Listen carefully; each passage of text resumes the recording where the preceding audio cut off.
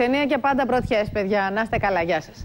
Πάμε να δούμε τώρα με τον κύριο Κοτσαρίδη που είναι εδώ κοντά μας τι γίνεται με τα μάτια μας και πότε πρέπει να φορέσουμε φακούς επαφής, τι πρέπει να προσέξουμε όταν φοράμε φακούς επαφής. Κύριε Κοτσαρίδη, καλημέρα σας. Καλημέρα σας. Ποια προβλήματα λύνουμε με τους φακούς αυτούς; Ε, από τη στιγμή που εφαρμόστηκαν οι, οι μαλακοί φακοί επαφής, ιδίως στα στις αρχές του 80, έδωσε μια μεγάλη ανακούφιση στους ασθενείς που φορούσαν τα γυαλιά και ιδιαίτερα σε αυτούς με υψηλά προβλήματα διαθλαστικά όπως μεγάλες μοιοπίες, μεγάλοι αστιγματισμοί, μεγάλη υπερμετροπία. Δίνει το πλεονέκτημα να έχει καλύτερη οπτική, οπτικό πεδίο ο ασθενής που φοράει το φακό επαφής και επίσης ε, να μην κουβαλάει εκείνα τα μεγάλα, τα βαριά, τα γυαλιά που ιδιαίτερα εκείνη την εποχή ήταν και πολύ. Ε, σήμερα έχουν βελτιωθεί. Πράγματι, αλλά σήμερα πόσων ειδών φακούς επαφής έχουμε; Έχουμε πάρα πολλών ειδών φακούς επαφής. Έχουμε καταρχήν κυρίως τους μαλακούς, που είναι η μεγαλύτερη τους χρήση. Έχουμε τους ημίσκληρους και τους σκληρούς. Πέρα από αυτό όμως, έχουμε και φακούς επαφής που διορθώνουν και τον αστιγματισμό, διορθώνουν και την μοιοπία, ε, συγγνώμη, και την πρεσβειοπία. Ε, έχουμε φακούς επαφής που είναι έγχρωμοι, ε, έχουμε φακούς επαφής που είναι θεραπευτικοί, που τους φοράμε δηλαδή για προβλήματα. Ε...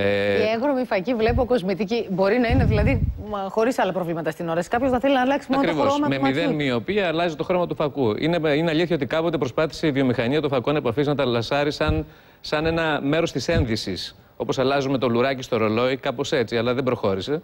Ε, Παρ' όλα αυτά, χρειάζεται την απαραίτητη προσοχή που θέλει ένας φακός επαφής, που είναι ουσιαστικά η υγιεινή του.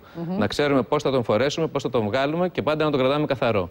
Και μας είπατε ότι διορθώνουν τα πάντα. Υπερμετροπία, μοιοπία, πρεσβειοπία, τα πάντα πια μπορεί ακριβώς, να φορέσει. Ακριβώς, ακριβώς. Οι κανόνες που πρέπει να ακολουθεί κάποιος; Ο φακός επαφής είναι ένα εργαλείο. Εγώ λέω στους ασθενείς μου ότι είναι σαν το μαχαίρι που χρησιμοποιούμε στην κουζίνα. Αν το χρησιμοποιήσουμε σωστά, κάνουμε τη δουλειά μας και μας λύνει προβλήματα. Εάν όμως δεν το χρησιμοποιήσουμε σωστά, μπορεί να κόψουμε το δάχτυλό μας. Το ίδιο και φακός επαφής.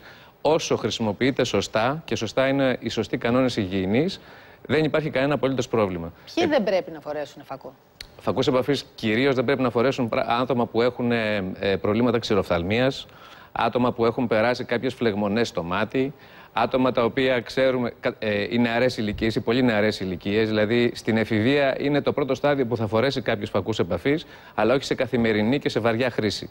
Ε, από εκεί και πέρα, ο, οποιαδήποτε άλλα άτομα που έχουν κάποια προβλήματα στα μάτια τους, καλό είναι να αποφύγουν.